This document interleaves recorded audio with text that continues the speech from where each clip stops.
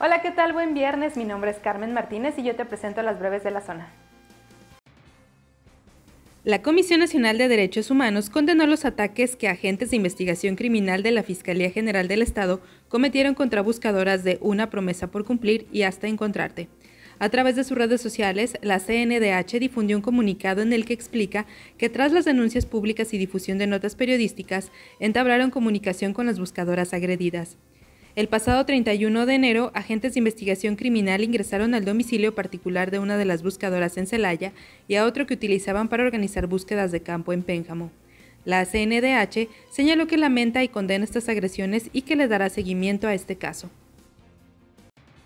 Solo en el mes de enero de 2022, en comparación con el mismo periodo de tiempo de 2021, en Guanajuato se registraron 515 denuncias más por narcomenudeo. Las cifras que da a conocer el Secretariado Ejecutivo del Sistema Nacional de Seguridad Pública es que en enero de 2022 se abrieron 2.111 carpetas de investigación por este delito, y el año pasado fueron 1.596 denuncias. En comparación de un año a otro, la sociedad reportó 515 casos más.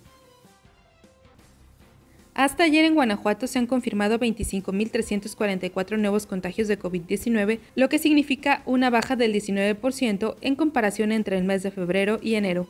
La directora de epidemiología de la Secretaría de Salud, Fátima Melchor Márquez, explicó que aunque este mes cerrará con una baja importante, las proyecciones advierten un nuevo incremento para verano. A nivel nacional, Guanajuato ocupa el lugar número 18 en tasa por casos activos y tiene el 3.4 del total de enfermos a nivel nacional.